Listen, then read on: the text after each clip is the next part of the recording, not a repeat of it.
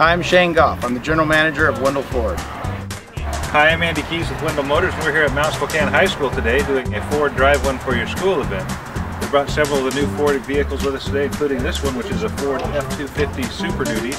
This one happens to have the Power Stroke diesel engine, which is the most powerful diesel engine in its class. The event we have going on today is Drive One for Your School. It's where uh, local dealerships and Ford partner up and offer $20 per test drive taken and uh, with a maximum earn of $3,000. Sorry, 6,000, isn't it? 6,000. All right, thank you.